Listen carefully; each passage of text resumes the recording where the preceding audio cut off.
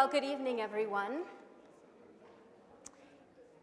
It's uh, my pleasure to welcome you to the second lecture in this year's annual Stroum series of lectures. Um, these lectures are brought to us through the vision and generosity of Sam and Althea Stroum. And Althea, we thank you for this gift that you've given to the Jewish Studies program here at the University of Washington. Uh, my name is Debbie Kerdeman. I teach philosophy of education here at the U. I'm also affiliated with the Jewish Studies program. It's my pleasure to welcome uh, Dr. Susan Handelman, this year's um, Stroum lecturer. Dr. Handelman doesn't know this, but I first became acquainted with her work when I was in graduate school. At that time, I um, bought two of her books uh, The Slayers of Moses The Emergence of Rabbinic Interpretation in Modern Literary Theory, and Fragments of Redemption Jewish Thought and Literary Theory in Walter Benjamin Gershom Scholem and Emmanuel Levinas. I bought these books because I was interested to see how a scholar brings together the world of Jewish thought with the world of philosophy and literary theory. Uh, Dr. Handelman currently is a professor at Bar-Ilan University in Israel. Since these books have come out, uh, the first in 1982 and the second in 1991, she has become very interested in education, specifically in the relationship between teachers and students, rabbis and disciples. Those of you who were here on Wednesday got a taste of the way she thinks about this topic and the insights that she brings to it. I should mention that Dr. Handelman is herself an award winning teacher, um, having won several teaching awards while she was on the faculty at the University of Maryland. Tonight's topic is entitled The Reciprocity of the Teacher Student Relation. More than the calf wants to suckle, the cow wants to nurse. It's my pleasure to introduce Dr. Susan Handelman. Thank you. Okay. For the people who weren't here, I just want to do, and even for those who were here, uh, just a teeny bit of review. What's the, what's the big significance of this topic? Teacher student relations, which aren't limited just to schools and professors, but really is the whole relation between generations. Last Wednesday, I spoke about one model, which was the model of Rebbe Eliezer, who was, as you remember if you came, the Bor Sud. He was the cistern, he didn't lose a drop. So he received. And he never said anything that he didn't learn from his teacher. So it was a very kind of a hierarchical transmission. He filled up, he gave out. Now, there are other models. That's very simplistic because we saw in that story that in the end he was alone and he didn't have anybody to give to, and the pathos of that. But there are other models. Now, in the story of Wednesday, one of the key figures was Rabbi Akiva, as you remember, who was the one who told him he had been excommunicated and the one who came to him when he was about to pass away. Tonight is about Rabbi Akiva. Those of you who learned in Sunday school or learned Jewish studies, if I say the name Rabbi Akiva, uh, probably a lot of associations are going to come up. A lot of famous stories about Rabbi Akiva. I'll just name a few. First of all, we have the story that he didn't learn until he was 40. He was the poor shepherd and he hated the sages. I heard actually in some of the wonderful receptions that have been held for me here stories of many of the people who are from the Jewish community here who started to take classes in the Jewish studies program when they were older and how much it meant to them. He's really the great model of the person who starts very late at 40 and becomes one of the greatest scholars. He's the one who has great romantic stories attached to him. He's the one, if you remember, who he's the poor, ignorant shepherd, and the daughter of the richest, one of the richest men of Jerusalem falls in love with him and gives up everything to live with him in poverty. They have this romantic relationship. He's the one who, who said, What's the great principle of Torah? The greatest principle? Love your neighbor as yourself which is in the book of Leviticus. That's Rabbi Akiva. love, love. He's the one who also said about the Song of Songs, which is the great, passionate, erotic poet, love poetry of the Bible, between, interpreted as the love between God and Israel. Rabbi Akiva is the one who says, the Song of Songs, all of Scripture is holy, but the Song of Songs is the holy of holies. So you, you see a pattern. There are many other examples I could bring to you about this association of, of Rabbi Akiva. And I just wanted to give you that little background to the text we're going to look at because the Talmud is a very coded document. You can't read the Talmud. You can't read it. It's not a simple narrative, it's not a book. It's constructed so you have to learn it, you have to speak it, you have to have dialogue with it, you have to have a teacher. So, in a way, it's paradoxical that I'm lecturing to you about the Talmud. We're going to try to learn it together. And this story is in the tractate which deals with, with Passover. I'll just give you the background to the story of Rabbi Akiva in prison at the end of his life. Why is it in the tractate on Passover? Because the question that's being addressed here is an interesting one. You see where it starts at the top? See that? Rabbi Akiva's dictum? That's the translator filling. He said, Treat your Sabbath as a weekday, but don't be dependent on people. What does that mean? On the Sabbath, you're supposed to have extra wonderful food and beautiful dress. So, what if you're poor and you don't have enough money for that? Should you borrow? Should you take from charity? Because, you know, it's a mitzvah to have a beautiful Sabbath. He said, no, don't have all the luxuries. Make it like a weekday, but don't be dependent on people. Very interesting from a man who grew up very poor, although at the end of his life, according to the stories, he was very wealthy. Now, basically, the first paragraph there is saying what instructions did he give to his son? It cites them in full because he taught that to his son. And I'm not going to go through them. He gave seven to his son. And the next paragraph are the ones he gave to his great student, Rabbi Shimon Bar Yochai, when Rabbi Akiva was put in jail by the Romans for teaching Torah publicly during the horrific time of the Hadrianic persecutions after the revolt of Bar Kokhba. And at that time, hundreds of thousands of Jews were killed after that revolt, and Torah was forbidden to be teaching, taught, and he did it anyway. There's very famous midrashim about that that I have in your packet, and he was imprisoned in a very critical situation. So the preface to that story is first what he taught to his son, and then what he taught to his great student, okay? There's only one line from what he taught to his son I just want to draw your attention to before we get to that central text. Um, as you see, it says he gave seven instructions to Rabbi Yoshua, his son. And one is, Al tadur be'ir shorosheha talmidei hachamim. Don't live in a city whose leaders are Torah scholars. So I was learning this, and I was preparing my talks. I was learning these texts with my my study partner, Gila Rosen, who's a wonderfully learned woman who teaches Talmud and married to a wonderful rabbi, Mickey Rosen. They founded wonderful institutions in Jerusalem. So she said, ah, I want to put that on the door of my house, you know. It's very different from the Platonic model. You remember Plato wanted to have the philosopher king, so not in this model. Also, I have a little Plato for you in the packet because there's a very interesting parallel text where Plato writes about Socrates in prison when he's condemned to death after he's uh, been on trial for all his questioning. And it's a very, very different scene than Rabbi Akiva's scene. So here we have a first difference. Actually, Gila was very, lived in England for many years, and, and she had a, she used to say, people would say to her, you know, you're so learned. Why don't, don't you want to be a rabbi? You know, you're a greatly learned woman. Don't, don't you want to do that? So she used to answer, It's bad enough I'm married to one. Who would want to be one? Let's go to our text. It's just important to see the context.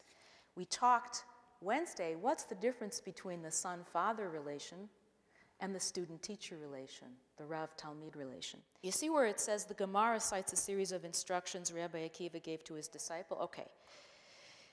Now, first, there's the dialogue, and it's a very, very dramatic scene that took place between them. And again, for those of you who are scholars, again, I'm not talking about the historical accuracy, but we're taking it as a literary text here beforehand. And I'm going to read it now. חמישה דברים ציווה רבי עקיבא את רבי שמעון בן יוחאי כשהיה חבוש בבית האסורים. He gave five instructions to Rabbi Shimon bar Yochai when he was incarcerated in prison. Rabbi Shimon bar Yochai also was very many famous legends about him. In Lag BaOmer coming up, that holiday is his yahrzeit. He's the one who remember, if you remember, said to have been in a cave for 13 years with his son hiding from the Romans, learning, learning. So this is Rabbi Akiva and this other great student. And what, what does he say to him? Just let's just set the scene. I don't know if you would imagine this like it's in a dark prison cell. I don't know how Rabbi Shimon Bar Yochai got in there, if it was bribed.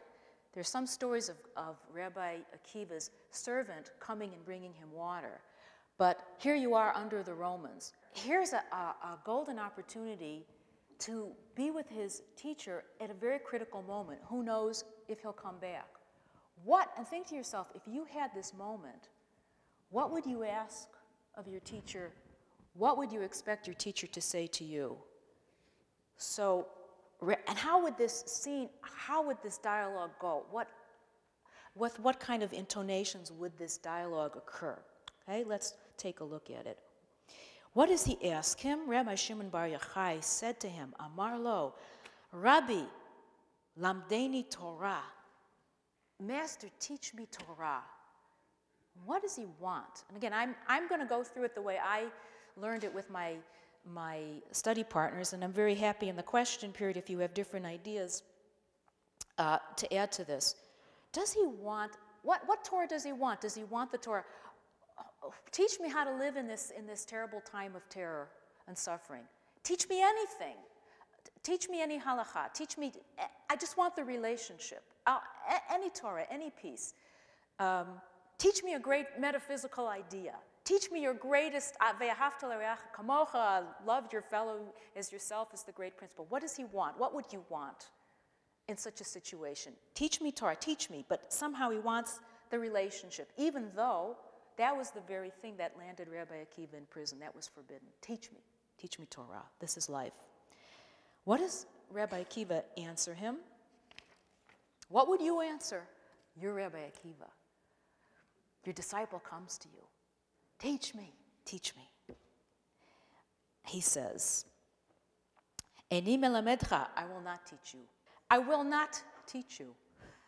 He risked his life. He landed in prison for teaching. All of a sudden, he's not teaching him. Why not? I will not teach you. What has he got to lose? Now, if you were the, if you were the student, how would you persuade your teacher to teach you? So Rabbi Shimon ben Yochai said to him, Im enata melamdeni, if you don't teach me, ani omer Yochai Abba, I'll tell my father Yochai and he'll report you to the government. You think it's a joke? Why, why, why, is he, but why is he joking in such a, this is, what's the joke going to do for him? Now, some of the, some of the commentaries that I read said perhaps Yochai was wealthy collaborator with the Romans or maybe a double agent. So his father seemed to have some kind of close relationship to the Romans. If you read it as black humor, it could be the intimacy of people who are very intimate and, and can do that, okay? Now, there's a very interesting um, uh, commentary of, of Rabbi Soloveitchik, who I mentioned last Wednesday, and not on this text specifically, but on the teacher student relationship, a brilliant, brilliant, very personal piece where each talks about his own failures as a teacher and kind of very, I think, the most personal thing he ever wrote it gave me a little bit of insight on this. If you, if you don't teach me, I'm going to tell my father, and he'll, re- so what? He'll report them. He's already in prison. He's going to. He says there are two aspects to teacher student relation. One is the cognitive, the intellectual, you know, the analytical, the formal, and the other one is very beautiful. And remember, J.B. Soloveitchik was the representative of the Brisk tradition, the most intellectual Lithuanian analytical Talmudic tradition although he had a very passionate personal side. And he wrote um, existential philosophy as well. He said, the second one is like two children playing. This very, very deep insight. There's another aspect of a great teacher student relation that's like two children playing, where they're enveloped by light and warmth, and they're carried by the flow of the experience, and there's no need for adult speech and talk. And they share a rhythm of hearts that's beyond what the whole logical give and take is. And it's not a dialogue of a teacher with a student. Now, I thought, I don't know, maybe that's part, we talked about Rabbi Akiva, the intimacy. Um, in any case, it's very perplexing. The Talmud asks us more questions than we ask it. It's a very interesting line, not what you expected. And again, it reminds us of the setting of the, of the great danger of teaching. Rebbe Akiva says to him, Now, here's where I got the title for my talk. Okay? It wasn't original. When you're learning Talmud, you're very glad if you find that your insight wasn't original. It means it was true, as opposed to in the university where you have to be original. Okay, what? So now what does Rebbe Akiva say to him? And this is the essence of the talk, this line. B'nai, my son, mima shaha'egel rotze lin'ok, para rotza lehanik. More than the calf wants to suck, the cow wishes to suckle. In other words, I want so much to teach you, more than you want to learn, but I can't because the inference is it's very dangerous. Well, why is it dangerous? It's not dangerous for him anymore. Rabbi Shimon ben Yochai said to him, Umi b'sakana, halo egel b'sakana. Wait a minute, wait a minute, who's in danger? You're not in danger. The calf, me, I'm the calf. I'm in danger. If I learn from you, I'm doing the thing that's, well, that's going to be dangerous. I'm willing to risk my life. Now, I want to spend most of the talk unpacking this line about the calf and the cow, the metaphor, the feminine aspect of it, what nursing is all about. But I can't just leave the, the wonderful rest of it, so just for a minute. Then Rabbi Akiva gives him the instructions. And he says, if you want to get yourself choked, hang yourself from a tall tree. Uh, now you have to hear this in Hebrew. Amar, amarlo, imbikashta lechanek in Hebrew, to be choked is lechanek. Lehanik is to nurse. Lechanek is to be choked. So you, you hear the, the continuation and the pun. And the interpret, what, what does it mean? There are a lot of commentary. In other words, commentaries say, if you want to teach, be sure you, you are attached to or cite the sources of the great ones. But you're taking your life in your hands. Okay, it's very uh, laden, double laden. And when you teach your son, teach him with a book that's been corrected. This is the other side. What do you teach a young child? The Talmud asks, what is he talking about? A young child, if you have the mistake at the beginning, it's going to stay there forever. Well, that's really true. And then the last one, my other friend I was learning with said, don't, don't use this. It's very politically incorrect. But I said, you know, it's very interesting what he says here. Maybe it's politically incorrect, but there's a lot of brilliant psychology to it. He says, Don't cook in a pot in which your friend has cooked. Now, again, maybe he's speaking in coded language to Rabbi, the Rashbi, Rabbi Shimon Bar Yochai. And the Gemara says, What does he mean by that line? My theme is orality and food, as you noticed, and you hear it again. So the, the, the Talmud says, Mani, what is he talking about? He's talking about a divorced woman when her husband's alive. In other words, if you, a divorced person marries and the spouse is still alive, there are four minds in the bed. In other words, you're not coming to it fresh. There are four people there. And it's very psychologically astute, I think, what he's saying. And this applies even to, now what, again, what's that doing there? We could spend the whole lecture just on that famous line. As I learned it, I think all of these seem to have to do again with transmission, creation, nurturing, love, love relationships. How do you keep things going? Broken marriages, reconstitution. And this is a time again when all the leaders are being killed, a time of great destruction. But the key I want to look at here is more than the calf wants to suck, the cow wants to suckle. Okay?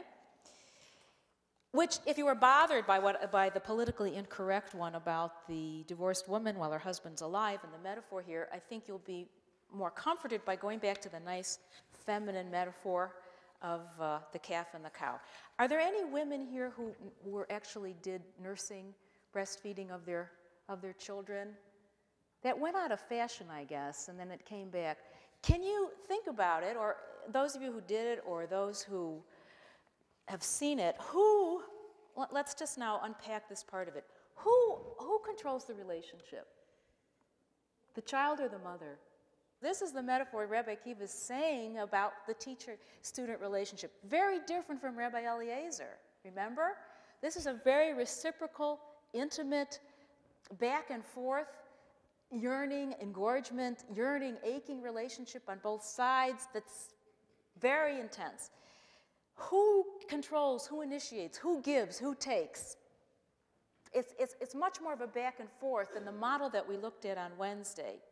Also, by the way, that it's a model for text and interpreter. What are we doing now? What are we really doing now with this text? We're doing the same thing, aren't we? We're in this kind of reciprocal back and forth, giving and taking. And if you think that I'm a little extreme in that, the Talmud has a wonderful line in the tractate Eruvin. Why were the, this for the Talmud, why were the words of Torah compared to a nipple?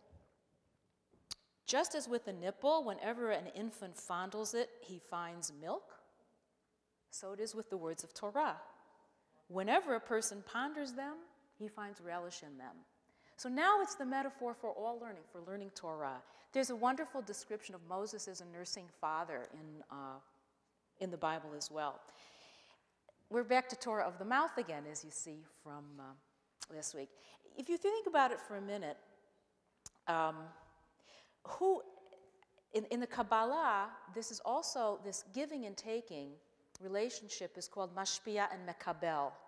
The mekabel is the one who receives, the mashpia is the one who gives. And the dialectic, this back and forth we're talking about, is the principle of all creation there. And I'm taking it to, to another level. In Kabbalah, if you've studied a little bit, you know God doesn't create the world by hashpa'ah, by outflow first, but by withdrawal by contraction, by withholding, and then makes a place for the world, and then gives. Giving and taking, withdrawal. This is, the, I think, the secret of ethics, the secret of teaching, the secret of so many things. I have a wonderful teacher also in Jerusalem, Rav Daniel Epstein. First day of a class on a book called uh, Share Ora by Yosef Gikatilla, a famous Kabbalist. He said, why do we call Kabbalah, Kabbalah, or Kabbalah? I mean, in America, even Madonna is into Kabbalah now. Another how it gets in the. Why do we call it Kabbalah, which comes from the word to receive? And I love this definition because he said it's the wisdom of how to receive. And that takes a lot of wisdom because it's harder to receive than to give, if you think about it which seems the opposite. I'm, I'm, trying to understand this the nursing, the giving, holding when you give a gift to somebody and they say, oh, why did you do it? I didn't really, you know, you didn't spend the money. They ruin it. How to receive is very, very hard. You, as the receiver, speaks about this in Kabbalah, you give a gift to the giver. That's why a person who receives charity in Jewish tradition is really giving the gift to the giver, giving a zechut to the giver. So here we're back to our, our nurse, mother, child, who's giving, who's receiving. Let's, let's think a, a little bit more about that relationship. When a child nurses, and it's, this is the metaphor for teaching, the more it draws, the breast refills. Now, Rabbi Eliezer, remember, he was the one who said, I'm, I'm the cistern. You empty the cistern and it's gone. The other metaphor was the overflowing spring. The more you draw from it, the more it, more it comes out. Rabbi Nachman of Breslov, was a great Hasidic Rebbe, had, had, a great insight into teaching and I think into this giving and receiving. He said, when you teach, you empty yourself out. Like I have all these ideas. It took me months to put this together. Now I'm giving it over and it's emptied out. What's going to happen?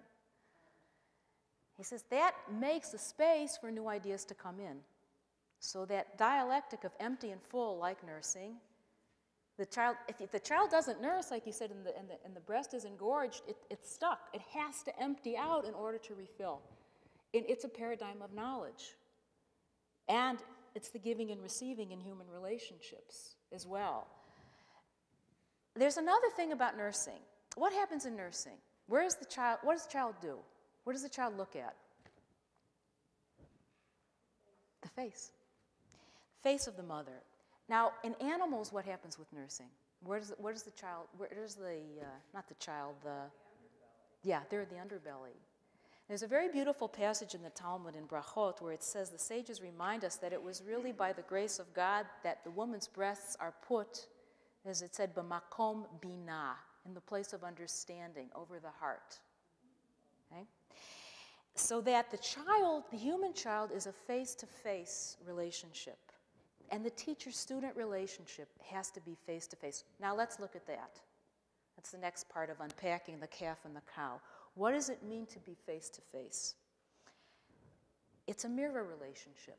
Those of you who are from the university and you know and you study postmodern theory, you can think of Lacan, the mirror stage, you know, this famous postmodern text, that our identity comes to us from it being mirrored through another person.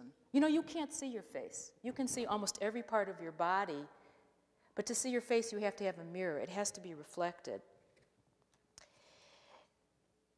So, the teacher student relationship, if it's the calf and the cow, if it's the nursing, if it has to be face to face. What does that mean? Let me go back to Rabbi Nachman. He has very interesting, great psychologist.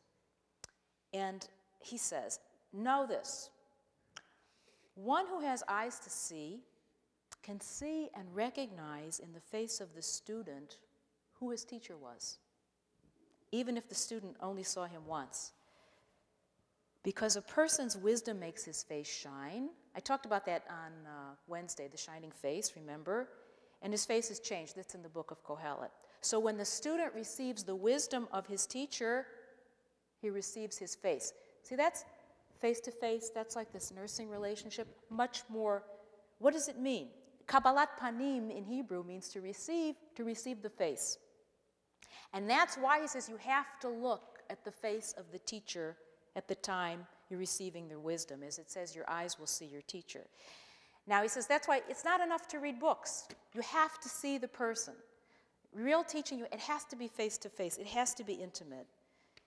And then he has another uh, line where he broadens this out to like friends. And I'm going to talk more about that on Wednesday. Not just teacher student. One has to, he says, make your face clear so each person can see his own face in his face. You see how the pronouns got ambiguous there? In other words, I look at you, you're not my teacher, but I'm seeing myself in you. I'm, I'm re- being reflected back and forth, friend to friend. With, so that without rebuke or preaching, his friend will immediately repent over his deeds just from looking in his face. In other words, I get my identity from looking at you.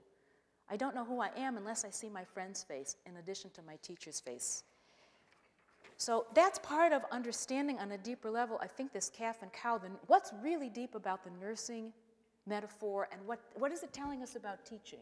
And I think, you know, people say, well, this is all very nice, it's Torah, it's Jewish. Does it apply to the university? I think it does. I think it applies to any deep giving over of, of knowledge. It so happened, I was, uh, you know, all these things come across the internet, and this came, I think this was from a Chabad website, and it had a beautiful, a beautiful passage. It said like this It said, As a mother and the baby she holds in her arms, as a father and a child, as two in courtship or in marriage, so are we with God. One chases, the other runs away. One runs, the other chases. One initiates, the other responds. It's a, it's a duet. It's really a, a, principle of life. One falls away, the other becomes estranged, and then the other looks and says, That's not an other. We're one and the same. And they return again to each other's arms. And that even in estrangement, there's a deep bond. So, what I'm trying to do here is say, what is, what is this? The calf wishes to suck, the cow wishes to suckle, this very powerful metaphor, which is also a feminine metaphor, telling us. I mentioned on uh, Wednesday George Steiner's book, Lessons of the Masters, on the teacher student relationship. And he talks about this. This is also very dangerous, very intimate can be very much abused. The, the, er, the eros, in the, in the sense of yearning, wanting this reciprocity. And he says, look, it can be very dangerous. This, now we've created this nice, ideal, beautiful nursing mother. What could be more beautiful, more peaceful, for more intimate, more harmonious? But there are negative aspects. It, there's a kind of seduction that can occur here with this erotic charge. Mentors destroy their disciples. Anybody who's been in graduate school or graduate seminar knows this. I can see the heads shaking, right? Pupils subvert their teachers. They betray them. They outgrow them. They leave them. We saw that on, on Wednesday. Those are other models. And it happens in the Talmud too. We, we saw some of them. And George Steiner said a, a teacher invades, breaks open, can lay waste in order to cleanse and rebuild. And these teacher student relations are filled with that. I don't really like those macho metaphors so much. Um, I, like, I like the nursing mother better. But he thinks that the ideal is for the, the, the student to leave the teacher, come into his own, in the end, the teacher should be alone. I don't agree with that. I really don't agree with that. I think Rabbi Akiva is pointing out the ideal in a way. Joseph Schwab was a great uh, philosopher of education at the University of Chicago, and he has a wonderful essay called Eros and Education. And he says, Eros, this, this desire, this passion, like that, that nursing child, is as much the energy source in pursuing truth as it is towards anything else pleasure, friendship, fame, power. And what the teacher has to do is locate it, locate the eros, and direct it to the correct object. Now, it can get stuck like onto the teacher themselves, which is wrong. But even Schwab says it requires a face to face relationship. That's with, with the teacher, interpersonal. By the way, uh, I'm going to get to the last section of my talk. You know, when you're preparing a talk, it's like almost everything that you read somehow connects. So I, I picked up this book when I was in Chicago, Destructive Emotions. This is uh, How We Can Overcome Them, a scientific dialogue with the Dalai Lama by Daniel Goleman, who wrote that book, Emotional Intelligence. Very interesting. And it's about cognitive theory, and he brought all these cognitive neuroscientists and physicians to, to the Dalai Lama who's interested in Western science. Very, very interesting book. Anyway, so I'm reading this a few days ago, and what do I find? A chapter about a guy named Paul Ekman, who's a professor of psychology at University of California Medical School. He's a master of the face, of face research. Now I, I have interesting biological, neurological, physiological data to share with you for a second. What he did was he identified there are 80 muscles in the face. I didn't know this, which lead to how many possible combinations? What did he say? 7,000 7, uh, combinations. And he became, trained himself so that he could read faces and expressions that are unconscious and fleeting. And he trained the FBI and all these customs agents to do this, okay? To sense because all your true emotions are seen on your face. You may think that you're, you may think that you're concealing them, but he can tell what you're concealing because the movements are so subtle and unconscious, but they're all mapped out on the face. I didn't know this.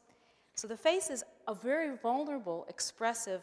Uh, uh, now, what he says here, and there's one more fascinating thing that he, that he points out that I didn't know about face, face to face relation, and that fixation of the child looking at the mother's face, you see even why it's more important. Quote, he said, if you intentionally make a facial expression, what happens physiologically? You change your physiology. Did you know this?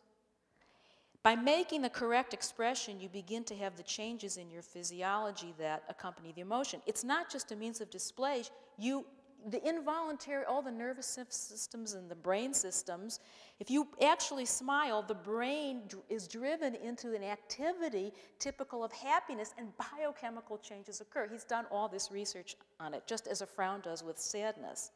And it's very, very interesting, I think, in terms of looking at this deeper metaphor about the face to face and the, that nursing relation and what teaching, what happens in teaching also underneath the surface. Okay, now the last part of this talk, I want to share with you a beautiful uh, use of this metaphor to talk about education by Rav Hutner. Eh, does the name Rav Yitzhak Hutner mean anything to, to the audience? Okay. Rav Hutner was, again, one of the greatest, I think, Jewish thinkers of our century. A lot of his stuff isn't translated. He was born in 1906 and died in 1980, and he was educated in the great yeshivot, Slobodka in Europe, and then he was in Hebron, and then he came to America. And he studied philosophy at the University of Berlin in that time when the Lubavitcher Rebbe was there and Rav Soloveitchik was there. And he founded uh, Yeshiva Chaim in Berlin, and many of his students became the great uh, heads of yeshivas. He has, was very interested in, amongst his brilliance, in teaching, and was a great teacher. And he has a collection of letters where you see him uh, in that role, and letters to different people. He never used the word Talmid, student, to describe his students. Each one he felt was in his own category. This is a letter or a transcript of a talk he gave about 30 years ago, and he was speaking to a group of young kids, uh, preparatory kids, ages 12 or 13, in a yeshiva in Brooklyn. And what he says to them, I'll, I'll, just summarize it up, and you can read it in Hebrew on your own, or, but I'm basically going to give you the main ideas. He says he really, first of all, he says he doesn't really want to talk to them in a collective setting. He wishes he could speak to each one individually, but he has to compromise and speak to them as a group because that's a situation, which is, I identify that very much because you really can't learn Talmud or text like in a collective situation, but sometimes you have to do it. So he goes on to tell the story of Rav Chaim of Volozhin. Does that name? Rav Chaim of Volozhin founded the great yeshiva of Volozhin in the 19th century, which became the fount of modern intellectual and great Torah scholarship. To this day, the Brisker method. And Rav Chaim, when he founded that yeshiva, he decided he was going to change, the, the, the, which is the Jewish seminary for learning. He didn't want to call the students of the yeshiva Talmidei HaYeshiva, students of the yeshiva, but guess what he changed it to? After all of this discussion, what would he have wanted to change it to? Bnei Yeshiva, the children of the yeshiva. Now, why did he do that? And this was the most, this was like Harvard postdoc, postdoc. Only the most brilliant people who knew Talmud by heart could get in there. The elite of the elite. This was not a little, little, you know, day school. Children of the yeshiva. Now, Rav Hutner says, thinking about why he did that, what's the relation of student and child and the teaching relationship? Rav Hutner says there are a lot of times in the Talmud, there's a story where a great sage meets a young child or an adolescent. And in the course of the conversation, the, the, the child says something so interesting or brilliant that he says, I promise that this child will become a great teacher in Israel. And Rav Hutner says, something like that just happened to me. This is, and he's, remember, his audience is these, these young kids. He meets up with a young student and he says, Now let me ask you a question. You have a teacher of secular students, and you have a teacher of Talmud and Jewish students. Tell me, is there a difference? And if there is, how would you define it? So this young boy thinks for a few minutes, and he says an astonishing thing. He says as follows He says, Well, my relation to my teacher of secular students is like somebody who receives food from the cook, right? And the cook gets the food from the outside and gives it to them. But my relationship to my Rebbe, my teacher of Torah, is like what would you guess? One who receives food from his mother, nurse, meneket, yeah, from his nurse. Meneket, that's, remember, linok lehanek, yinikat, tinoket. Why? Because the, what, is the, what does the nurse do? The nurse nourishes, says the boy, from their essence. When the, when, the, when the mother gives milk, what's the milk? That's the essence of her being. The food is digested, she's giving the very essence of her life. But the cook gets food that comes from outside, and it's just mechanical. So he said, When I heard this, I said, This is going to be a great teacher in Israel. And that's why Rav Chaim changed it from the students of the yeshiva to the children because he understood that teaching really is nourishing and nursing. That's very different from George Steiner's, you know, they should abandon you, they should leave you, you should be left isolated, there should be. A very, very different metaphor. It's, you, you know what else about nursing? You can only do it one at a time. I mean, animals can do one, uh, several at once. It's a one on one, direct, intimate, face to face relationship. So he said, I wish I could speak to you individually, but I can't. And there's another connection of Rav Hutner to Rabbi Akiva that I want to make for the end.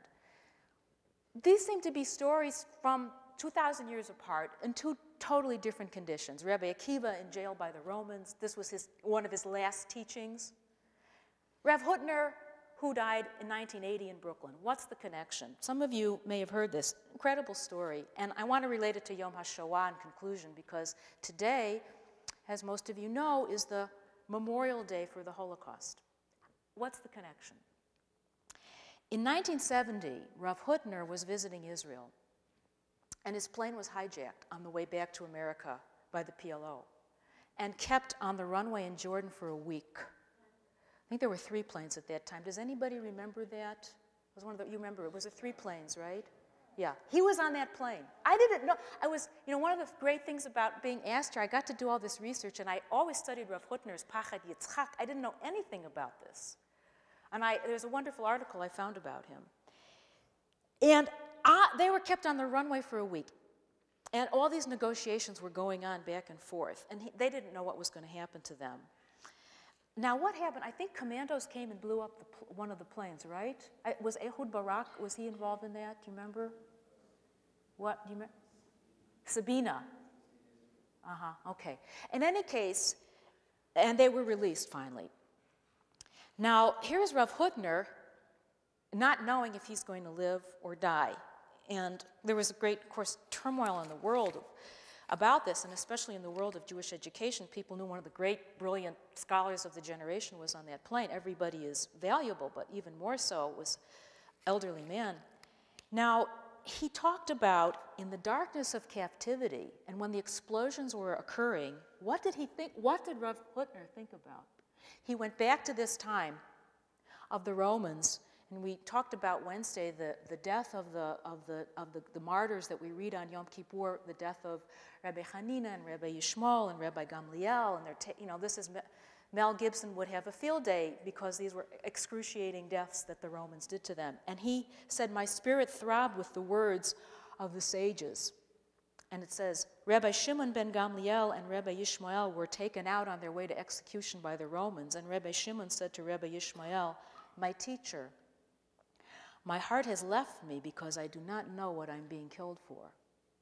So Rabbi Hutner thought about these sages at that time in the same situation that he was in. Was he lacking any basic knowledge if his life was about to end?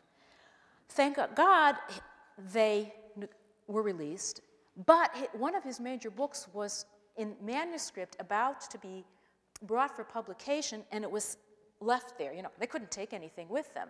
And they negotiated for a long time, and they couldn't get it. They couldn't get it back. This was the volume on Shavuot, which is actually the holiday coming. And what they did, his students went around, and from the students' notes and memories, they reconstructed the volume and published it. And it has a quite extraordinary introduction. The person who wrote the introduction, one of his great students, cited the verse from Jeremiah those who, what you say for people who are been redeemed from captivity, uh, I was just looking at it before it came, Bevechi yavo'u, in weeping they shall come, uvetachnunim ovilam, and with supplication I will, I will bring them back. And he writes in the introduction,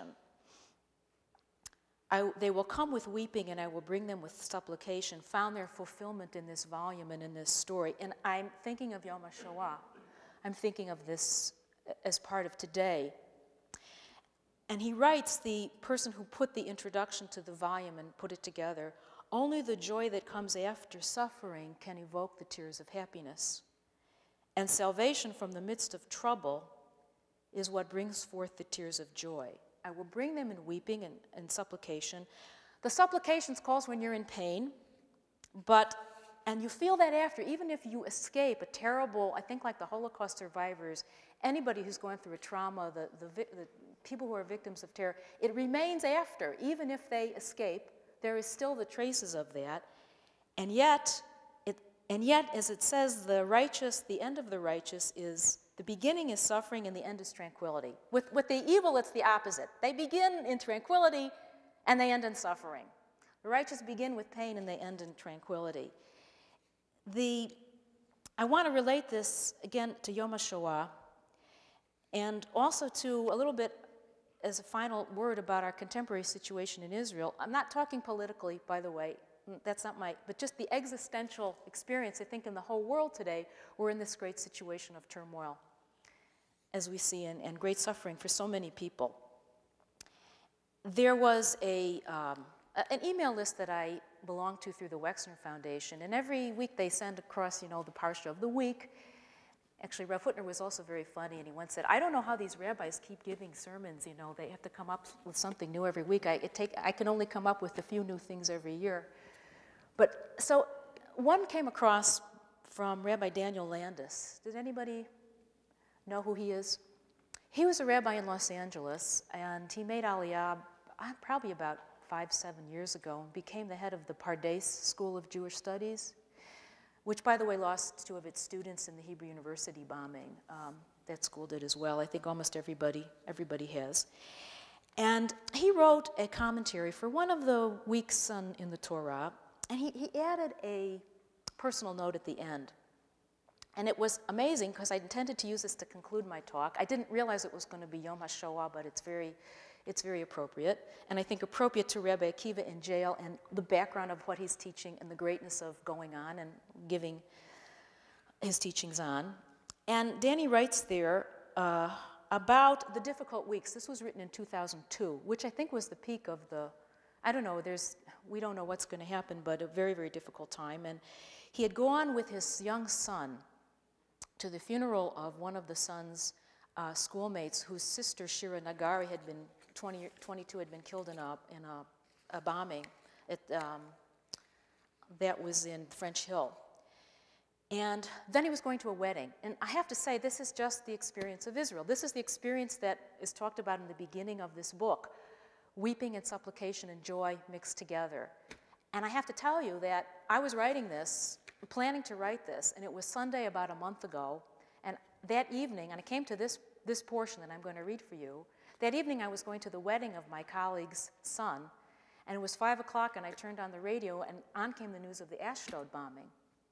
Unfortunately, people, several people were killed, but it didn't explode the chemicals that they intended to, which would have been a mass, uh, really cost a lot more. And I went from that news to the wedding. I just got up and got dressed and the, went to the wedding. So I thought, oh my gosh, I'm writing about Wendy, him, and now I'm in the same situation. But this is the mixture of tears and joy, and the weddings and the funerals all mixed up. So he talks about, Danny talks about, he, he was invited to a wedding and he got a call from his daughter, Hannah, who was in the army, that she had finally received permission to go, go to the wedding. So he raced off to the army base to get her and uh, picked her up, and she got in the car in her dress uniform. And she said, Oh, I'm, I'm so glad that, you know, I got the leave. And everybody was so happy to hear that I was going to a wedding because when they see someone in a dress uniform, they're afraid that they're going to a funeral. And she smiled and fell asleep with her M16. So they dress and they race home. And that's why we speak fast in Israel because I think you can tell by the pace of life there how we're always running and rushing from here to there. And it's kind of a manic depressive existence. You go from one extreme to the other of emotions. And they race off to the kibbutz. And they hear on the radio that there's a group of terrorists uh, loose in Beit Shemesh. If you know Beit Shemesh, it's right in the middle of the country. So there's all these roadblocks between Tel Aviv and Jerusalem. And the residents are ordered to stay in, and they get, go through the roadblocks, and they get to the wedding on time. Okay? This is very typical of life in Israel. And the word spreads that the terrorists were apprehended. I remember this also, I remember when it happened. So the dancing is even more intense at the wedding. Now, the, the, the end of what he writes here is the connection I want to make for Yom HaShoah, for Rabbi Akiva, for this moment uh, of him in jail teaching and the continuation.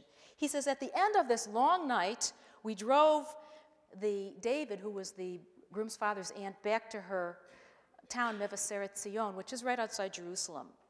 She's a short wisp of an elderly woman who walks with a limp. As I reached for her bag, I noticed her forearm. Now you can imagine what I'm going to say. Yes, she wouldn't let me carry her bag to the car. I did convince her to sit in the front, and all his kids, his family, fell asleep in the back. As we drove through the hills outside of Jerusalem, this woman from the Carpathian Mountains told me of her two years in Auschwitz. She said when she was at death's door, she asked God for two things to have children and to live in the land of Israel. And this wonderful lady is a mother, grandmother, and great grandmother.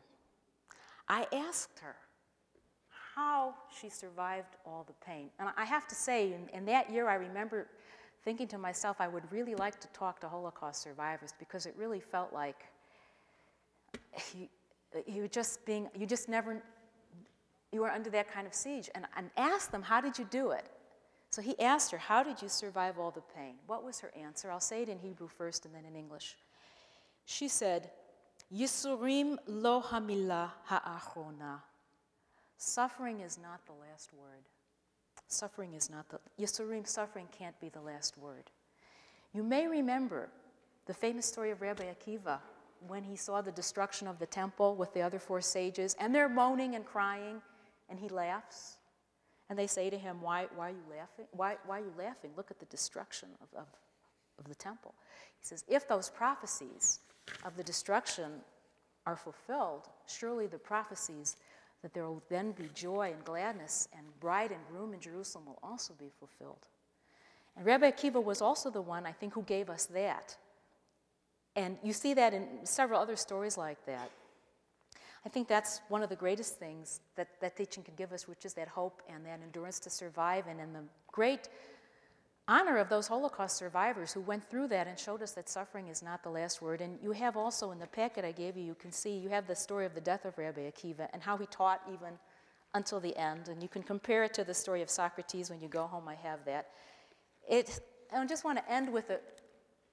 I got an email last night from a colleague of mine in Jerusalem at the wedding that I went to a month ago, at the wedding was Deborah Applebaum. I think the family is known in Seattle, whose husband and daughter were killed on the eve of their wedding in a bombing last September. Deborah was at the wedding I was at because her niece was getting married. And I watched her standing there smiling, and I, I was just overwhelmed at the strength and the courage and the fortitude that she, that she had. And I got the email last night that she had a grandchild, a grandson born, and the, the circumcision, ceremony was Friday, and the child's name is David Avichai. David, my father, will live. And so I think just as Rabbi Akiva taught, and that woman taught, suffering is not the last word. And there was a story of a Holocaust survivor today in the, in the Seattle Times. Did you read that? extraordinary. Those are our great teachers. Those are our greatest teachers of how to live and how to go on. I think all of us, Jewish, not Jewish, in, in the face of trauma and suffering, that it's not the last word. And these texts, as we learn them, give us life again. thank you for your kind attention.